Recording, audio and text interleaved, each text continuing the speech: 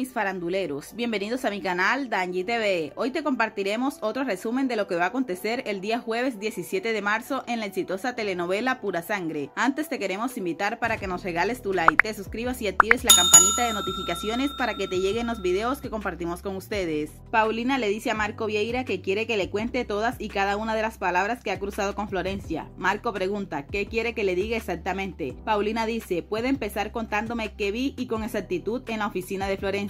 Marco contesta, el divorcio con Renato ha sido oportuno para nosotros. Paulina pregunta, ¿a usted le parece que Florencia está mal por el divorcio? Marco Vieira contesta, lo suficiente para que haya caído en mis brazos al primer ofrecimiento de consuelo que le hice. Paulina dice, cada vez me sorprendo más. De la persona que usted me habla no parece ser Florencia. Marco Vieira expresa, Paulina, por ahí dicen que el despecho y el desengaño no son buenos consejeros, pero creo que en este caso todas esas cosas están a nuestro favor, ¿no le parece? Paulina exclama, usted se siente muy seguro y muy convencido, señor Vieira. Marco contesta, sí, Florencia está dispuesta a dejarse consolar por mí y tengo entendido que eso era lo que usted y yo queríamos, tenerla bajo control, mientras se cuadran las piezas que hacen falta para lograr lo que usted y yo acordamos. Paulina exclama, por alguna razón no me siento tan convencida con usted, ni tan confiada de su lealtad hacia mí. Marco dice, eso no está bien y créame que no quisiera que fuera así. Y usted lo sabe, la confianza es indispensable para que usted y yo podamos hacer las cosas que queremos lograr. Paulina expresa, créame que yo no quiero sentirme intranquila hacia usted Marco. Marco le dice, dígame qué puedo hacer para aliviar ese sentimiento. Paulina expresa, tengo en mente una idea, para que usted me dé una prueba de su lealtad hacia mí. Marco pregunta, ¿qué idea? Paulina exclama, como usted dice que Florencia hace lo que usted quiera, convénzala para que se haga algo que para mí es muy importante. Marco pregunta, ¿qué quiere que ella haga? Paulina dice, hable con Florencia para que convenza a Alejandro de que firme el traspaso de los bienes a mi nombre antes que nazca el primogénito de Federico.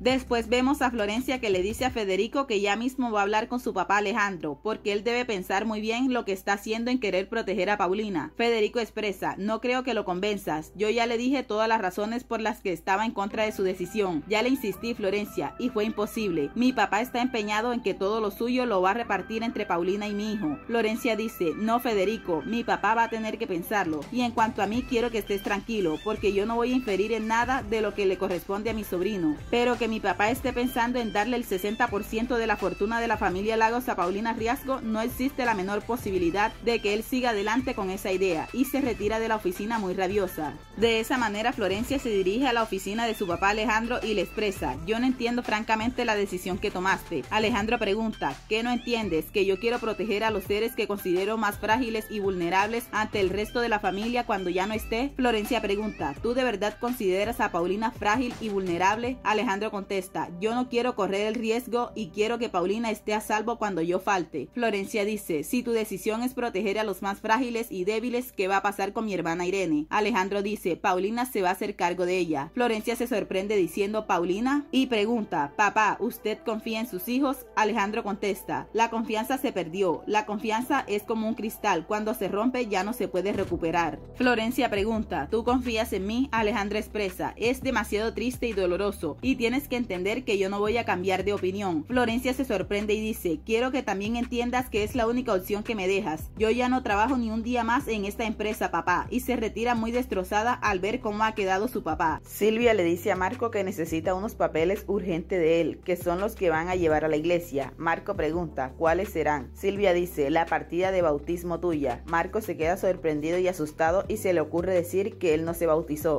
Silvia expresa, me lo imaginaba y para eso ya tenemos una solución. Marco pregunta, ¿tenemos quiénes? Silvia responde, pues mi mamá y yo. Marco pregunta, ¿es que ustedes me van a bautizar? Silvia dice, sí, ¿no te parecería fantástico casarte y bautizarte en la misma semana? Marco pregunta, ¿eso es posible? Silvia contesta, bueno, es posible siempre y cuando uno tenga un cura que es amigo de uno. Renato le expresa a su amigo Samuel, voy a acabar con Florencia y con Susana, se lo juro, y lo voy a hacer porque han hecho con la vida mía lo que les ha dado la gana. Samuel dice, Renato puedes contar conmigo para lo que sea. Después al salir Renato del apartamento de Samuel, Federico llega y lo detiene en el carro y le dice, súbase, le garantizo que no se va a arrepentir. Renato en silencio y precavido no se quiere subir al carro. Federico manifiesta, vea, si le quisiera hacer algo, créame que lo haría sin avisarle. Súbase cretino. Le digo que le conviene. Renato en silencio no sabe qué hacer y termina subiéndose. Y se encuentra con insultos de Federico por todo lo que le ha hecho a la familia Lagos. May le pregunta a Eduardo, si vas a ir a hacer los trámites de bautizo, Eduardo contesta, ya viste que no tengo más remedio. May dice, ¿tú crees que el padre Matías acepte bautizarte? Eduardo expresa, el padre Matías me pidió que no volviera más nunca por allá. No sé cómo vaya a reaccionar ahora que me vea regresar a ese sitio con Silvia. May dice, ¿sabes qué? Mejor cásate con ella y vete lejos a comenzar una nueva vida. Y deja todas las cosas aquí como un recuerdo de una pesadilla. Marco manifiesta, no, eso nunca lo puedo hacer. Por Florencia y por porque ellas prácticamente dependen de mí. Estas son algunas escenas de lo que va a suceder hoy en Pura Sangre.